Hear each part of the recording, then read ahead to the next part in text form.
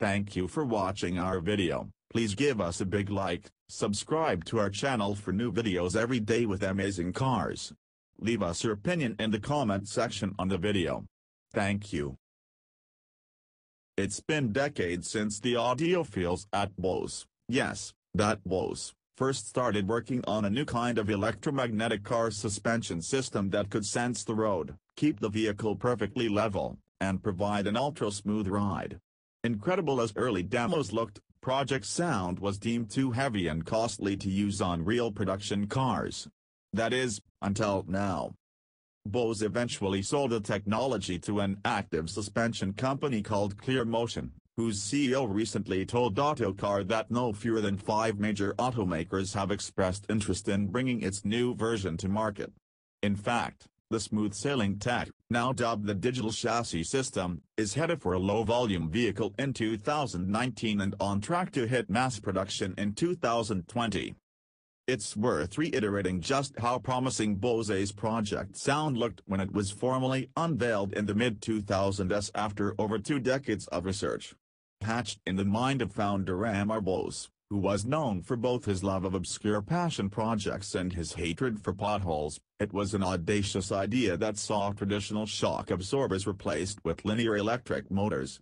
The motors would extend and retract based on data from the road sensors all of which had to be processed and acted upon in milliseconds.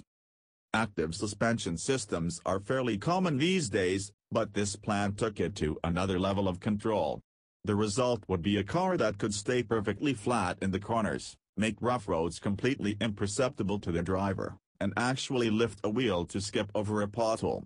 Best of all, it could actually hop over obstacles, it sounds impossible, but by 2005 the company had a working prototype running underneath an old Lexus LS 400. If you haven't seen it in action, it almost looks fake. Unfortunately, Bose never quite managed to bring Project Sound out of its skunkworks phase, and the global financial crisis that arrived a few years later provided the final nail in the coffin. Bose recouped some of the 30-year R&D cost by spinning of a company called Bose Ride that made an active suspension seat for semi-truck drivers before selling the technology to ClearMotion. To reach production status, ClearMotion ditched the electric motor idea and applied Bose's road sensing and control software to its own work on active valve dampers, similar to the much-discussed Multimatic DSSV system on the Chevrolet Colorado ZR2.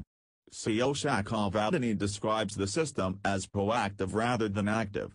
It looks mighty impressive, if not quite as unreal as the Bose rig, and the closing shot of a BMW 5 Series driving down a crumbling runway with a champagne tower perched on its hood is a fitting finale.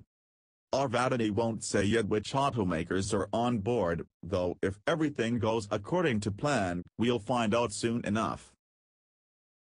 Thank you for watching our video, please give us a big like, subscribe to our channel for new videos every day with amazing cars.